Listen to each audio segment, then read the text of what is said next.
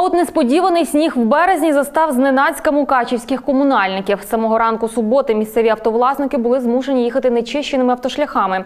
Тим часом на вулицях жодної снігоприбиральної машини. Нагадаю, раніше мукачівські чиновники звітували про те, що до прибирання міста від снігу можуть залучити до десятка одиниць техніки та більше півсотні працівників РБУ. Нагадаю, на сайті Прозоро була опублікована інформація, що РБУ мало намір укласти договір про надання послуг з прибирання снігу у Мукачеві.